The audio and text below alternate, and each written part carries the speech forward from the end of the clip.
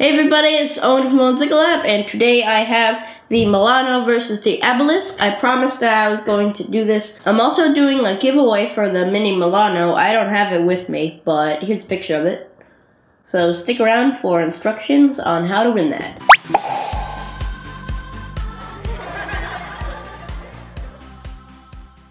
This is at number 76081. It's recommended for ages 7 to 14. It is 460 pieces. By the way, I do have a cold. If I sound stuffy, that's the cold. This set is supposed to depict the opening scene of Guardians of the Galaxy Volume 2, where they're fighting the Abilisk, I guess it's called, which is like a ball creature and it's got like tentacles. It's trying to eat the batteries of um, superior species. They're like humans, but they're golden somehow. The thing with this set though is that they put Nebula in the opening scene. This is what happens when you don't know the full plot and you don't know all the details. Other than that, the set's awesome though. So I'm going to cut open the set, rip out its organs, and then we can start building.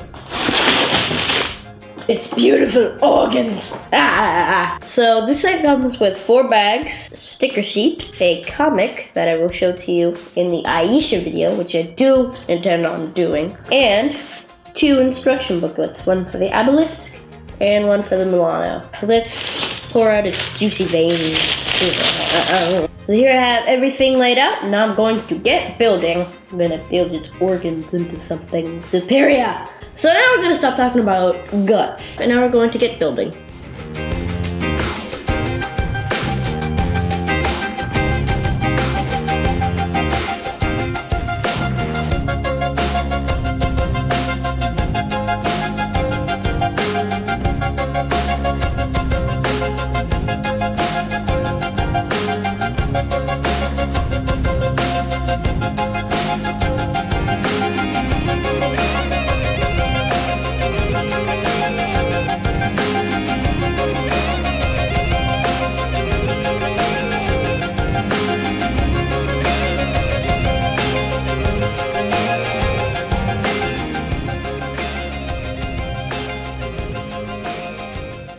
So here I have the completed set. Now we're going to take a closer look. Here is Star-Lord.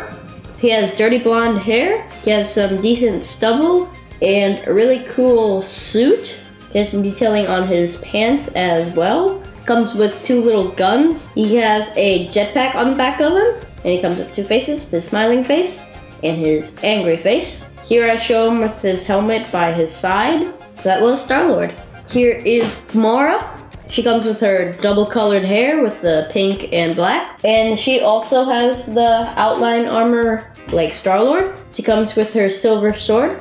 She has her green smiley face and her green angry face. Kind of has a little bit of metallic detailing on it because it's kind of shiny if you look at it. That's Gamora. Here is Drax. He's just a gray guy, but he's got a lot, a lot, a lot, a lot of tattoos or those are really fancy birthmarks. He has his blue pants, he has a belt, and just some other detailing on them. He comes with his two knives and a jetpack. He just has an angry expression on his face. That's Drax. Here's baby Groot. He's a little tiny twig guy with a couple of spikes up on his head and then just a little bit of green on him and then just a little tiny smiley face. He comes with his little boombox speaker. It's pretty cute. He's a fun little character in the movie. So that's Groot. So here is Nebula. She's basically a cyborg because every time she lost a battle, Thanos would replace a part of her with a robotic part. So he's basically a psycho. He's a psycho parent.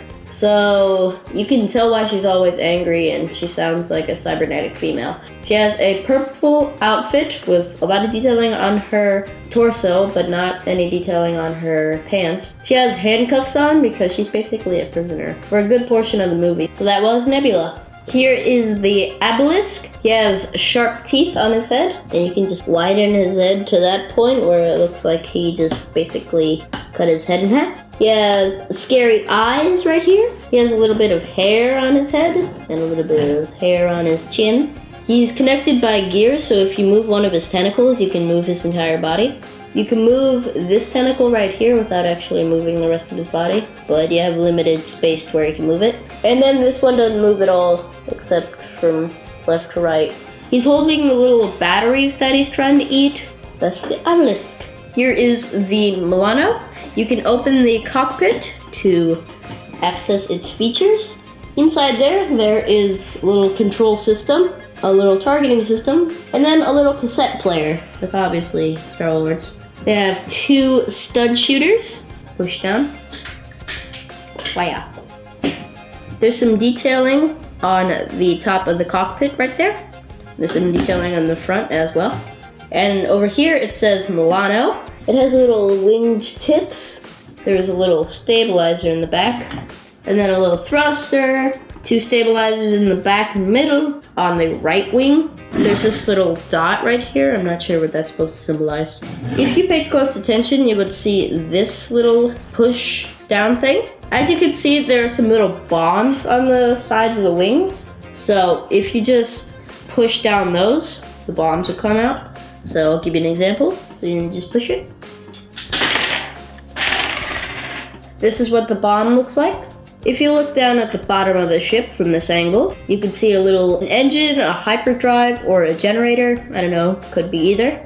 You can comfortably fit everybody in there without the weapons. If you do put the weapons in, you gotta shove them in there. But yeah, this is much easier. There's Groot just nestled in there. So yeah, that's the Milano. If you want to win the mini Milano, here it is again you have to click on a link in the description, enter your name and email address. It'll be picked at random. It'll be announced next Friday. I'm gonna pin the results on this video, not next week's video, this video. So just come back next Friday and see if you won or not. And I will be doing the last Guardians of the Galaxy Volume 2 set. Ayesha's Revenge. I'm not sure when. It might be next week. It might be the week after that. But there will be another giveaway involved in that video as well. Keep a close eye out for that. But anyways, that was my the Milano versus the Abilisk video. You know the drill. Like the video if you like the set. Comment, tell me what you think, and tell me who's your favorite character in the set. Subscribe to the channel if you are new. But other than that, nothing. See you guys next time. Bye.